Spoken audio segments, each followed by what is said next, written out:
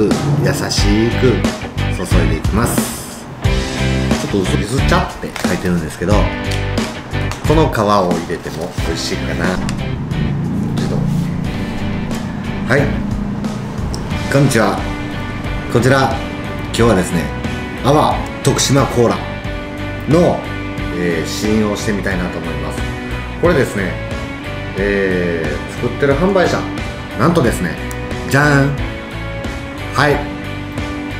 上勝の坂東食品さんが新しくこういう泡の徳島コーラを作ったそうです。それでは飲んでいきます。うわすごい香りこれ。何？入ってるのがきび砂糖。そしてすだちの皮。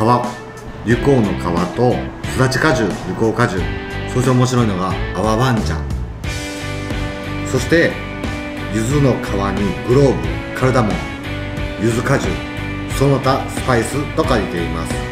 賞味期限は今でね2021年1月なんですけど2年間持つそうですね。で直射日光が当たらない常温で保存ができるのでえ皆さんご家庭に1本置いておけば2年間持つそうです。それでは作っていきます。まずこっち先がいいかな。これぐらい入れたんかな。コップにこれ入れてそして炭酸。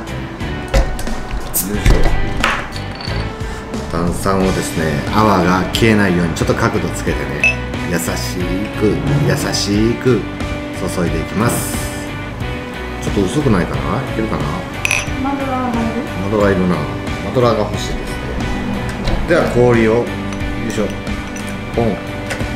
ポンレモンスライスとかあと柚子柚子のスライスだったら面白いですうわ見てください。すごいこれ。そしてねこれ表面に。これ分かるかな？表面に。スパイスが。表面に本当スパイスがそのまんま映ってますね。そしてえーとこちら。ああとね厨房の米びつの上に柚子の皮が。ある、うん、これを軽く混ぜます。そこから混ぜてあげて。うわじゃあまずこのままいただきます。あうわすごい。スパイスの香りとやっぱりこう変なこうくどい甘さがない分すごくなんでしょう。まあ単品でそのままもいいしあのパンドエピスっていうスパイスのケーキとすごい相性が良さそう。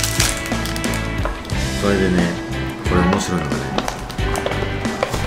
油香の皮をあえてこちら湯藤庵さんが作っている柚子のこれはですね柚子茶って書いてるんですけどこの皮を入れても美味しいかなと思ってます。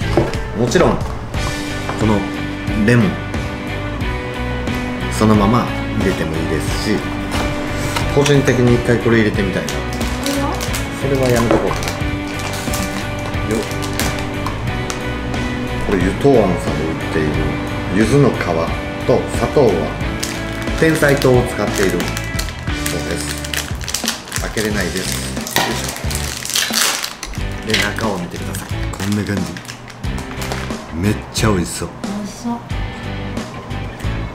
これをちょっと入れて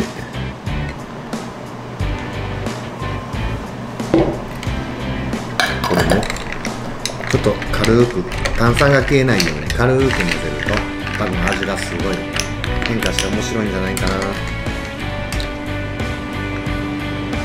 うん。柚子の爽やかさがプラスされてあのスパイスのカルダモンとかグローブグローブだったかな。うん。グローブとかカルダモンが苦手な方これをちょっと入れるだけでえっ、とねそのスパイスのこうきつさが和らいで爽やかさがプラスされて美味しいですね。うん。これをわざとちょっと横にこういう風に添えて途中で入れてもらっても面白いのかなと思いました。いやー坂東さんすごいな。面白いの作るなすごい。アワバンチャがいいね。アババン茶を入れとんだそう。いやこれトークでも出していこうかなと思ってます。まあ詳しくは坂東食品さんのホームページをご覧ください。URL は、えー、と概要欄とか説明欄に記載します。じゃあそれでは